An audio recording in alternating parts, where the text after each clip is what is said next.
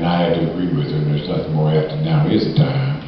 Now is the time to to get Galbraith and Riley in there, now's the time to take a chance, folks.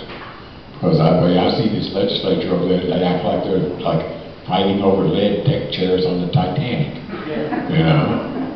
That they're, they're, they're grasping at crumbs, and we need to come up with something more besides crumbs.